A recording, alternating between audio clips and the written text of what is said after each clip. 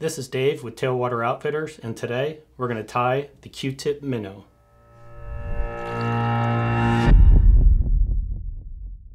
So this fly is a great pattern to imitate bait fish in the backcountry, up and around dock lights, uh, especially in the wintertime here in Florida when our bait gets a little bit smaller. We need to downsize some of our, uh, our flies that we're using. And uh, I first saw this fly was as a bass pattern and really what I did is I modified it a little bit, especially the hook uh, to make it really kind of saltwater equipped and ready to deal with these uh, snook and juvenile tarpon.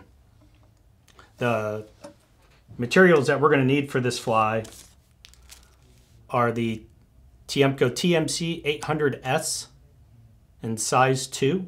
Again, you could change the hook uh, if you so desired, but that's what we've been using uh, with this pattern.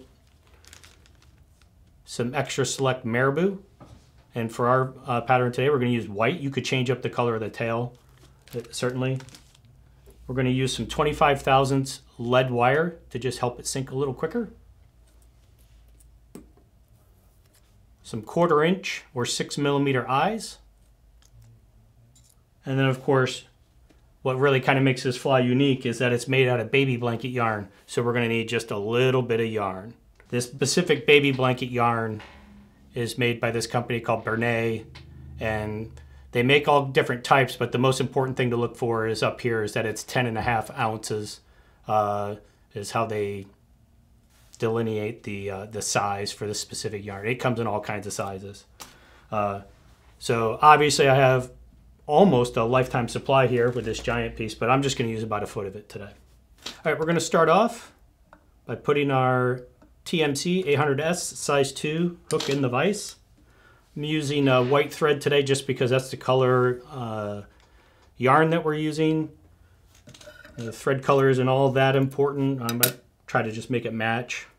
Uh, but, you know, I have uh, played around with using a little bit of red to try to give some of the uh, bleeding gills kind of a look.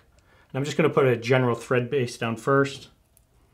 Next, we're going to come in with our, our lead wire and uh, get bobbin out of the way here. And I'm just going to put down about three quarters of an inch worth of this.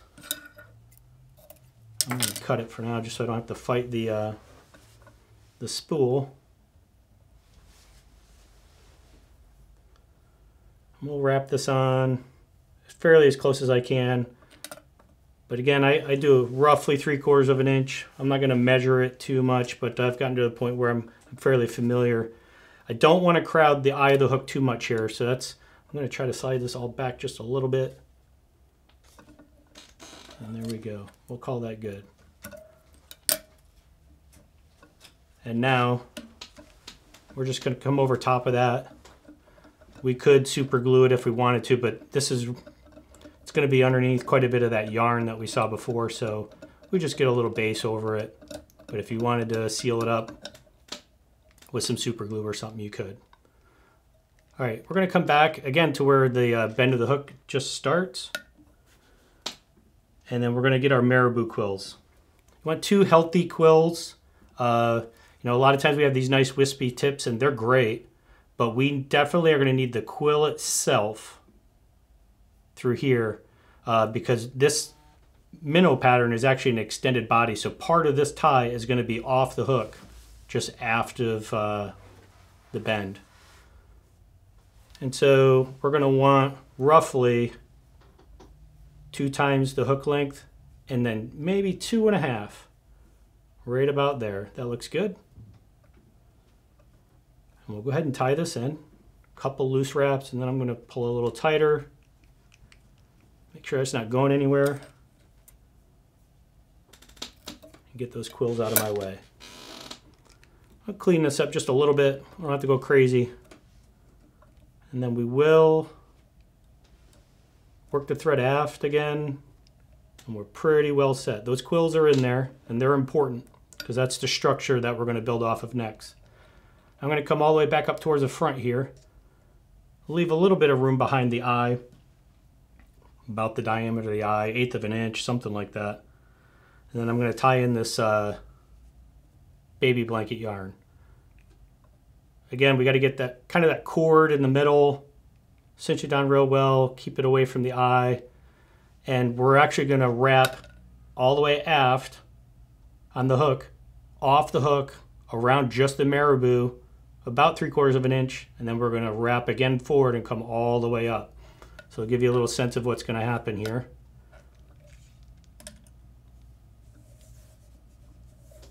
And we're going to keep it pretty tight to each other. I'm getting close to where I'm going to come off the hook. That's pretty close right there.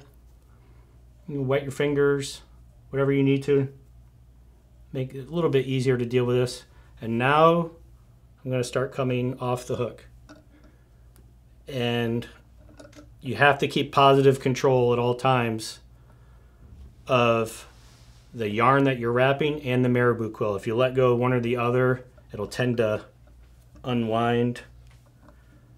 And uh, there's you're just just going to take a little practice. It's going to feel awkward, uh, just because it's really different. Uh, you can see here I'm just kind of pinching it with my finger and thumb.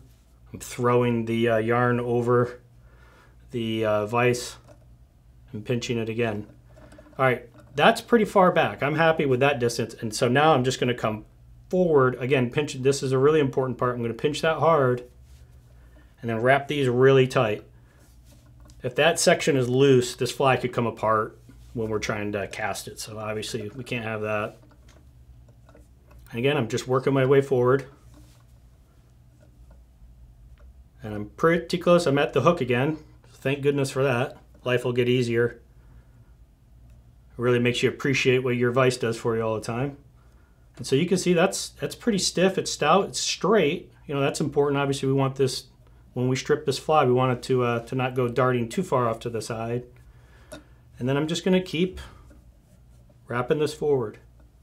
Now we had that little bit of space in front of our lead wire to the hook eye, and we're going to wrap this all the way up to the hook eye, but that, that space gives us a little bit of a stair step down that will help build a little bit of a head profile.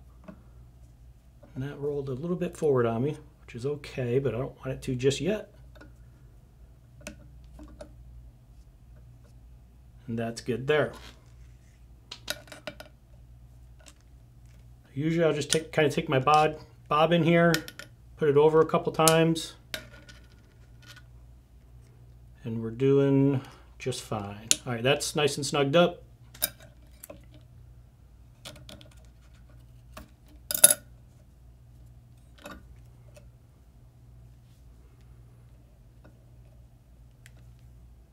And now I'm just going to stroke this uh, material back, get some finish wraps on it. It's not going to go anywhere. And you'll see, you'll get a little bit of this fluffy stuff coming off, but that's just where we uh, we cut those fibers off that cord. And whip finish. My device came unlocked on me.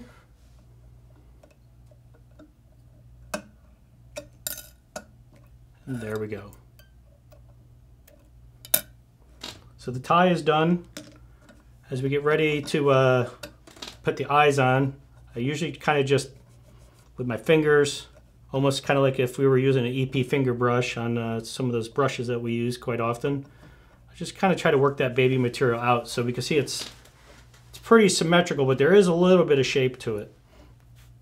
About the only trimming that we'll need to do is a little bit here at the head. And we're going to fix that too somewhat when we put our eyes on. That's pretty good. I'm to raise this in my vise just to make it a little easier to see where the other spot where we're going to trim is here from the hook back to the marabou. And I usually take this out of the vise if, if it's easier for you to do that, but we're just going to do a little taper back.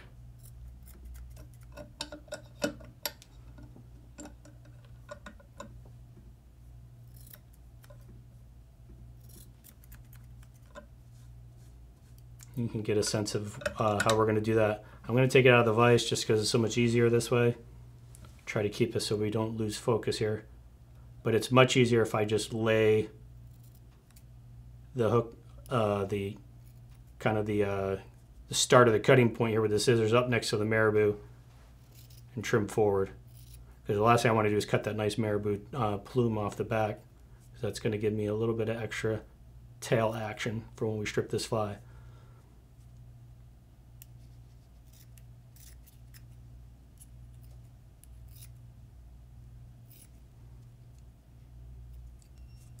So you can already see that it's starting to get that profile. Needs a little bit more trimming in there, but I'll come back to that later. All right, so last thing are the eyes. So I'm going to super glue the eyes on using some gel super glue. And then I like to keep my eyes up pretty darn close to the hook eye. And then I can put a little coating of UV resin over top of it. So I don't have to worry about the super, if the super glue comes undone and I lose the eye, what I actually have is a, a one solid piece of UV that comes over each eye, around the top, onto the eye, then back. I try not to encase the whole front I still want this to be very much a fly, um, but I'm just trying to make sure that I don't lose these eyes too quickly. As these eyes go on, you know, there's uh, you can put them on directly parallel to the hook, but I, because we're putting it up so close here to the eye, the hook eye that is, I like to uh, angle them slightly so that it'll push a little bit of water. It's a subtle difference, but it's one of those things, certainly if you're in darker stained water. Do it again if you're in darker stained Yeah. water. If you're in darker or stained water, um, having a little bit of push on the front of this fly seems like a relatively insignificant thing to us, but the fish really pick up on that. And so if you can get another one of their senses to tell them, hey, that's real, I need to eat that, then uh, you should absolutely take advantage of that. So again, there's the eye.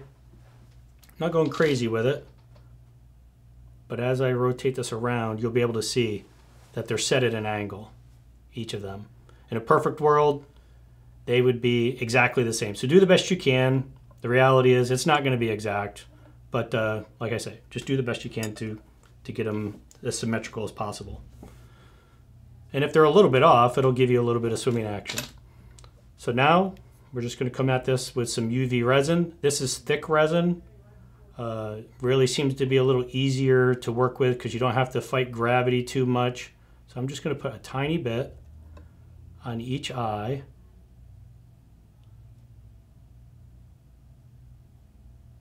I'm going to put a little bit and just kind of inject it into that baby blanket yarn.